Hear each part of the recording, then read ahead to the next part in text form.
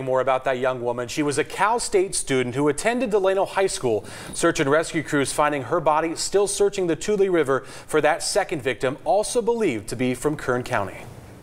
Online, family and friends mourning the death of Alondra Orozco, a Cal State student who died in the Tule River after being swept away early Thursday morning. Orozco going into the water with another woman from Kern County who has not been identified. A lot of times we're at the mercy of the river, so uh, they could be anywhere at you know any point. So we're searching the best locations based on the information we got yesterday, and hopefully we'll you know find her sooner than later. Orozco's body found yesterday. Officials with the Tulare County Search and Rescue Team back out this morning looking for the second victim. The two women swimming in the area commonly referred to as the stairs in the foothills near Springville, a popular area for visitors during the spring and summer months. It's a very narrow canyon. It's swift running water. It's, it's cold. You know, this is snow melt off.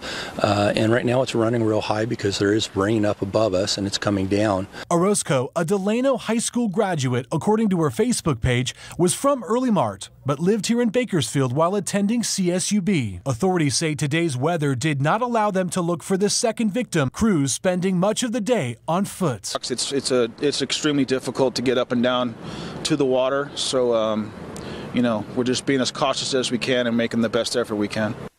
No word tonight whether the Kern County or Tulare County Coroner's Office will re release Orozco's official cause of death. This, uh, excuse me, as a community here at home and up north, as we heard, mourn the loss of a college student with a bright future. Jackie.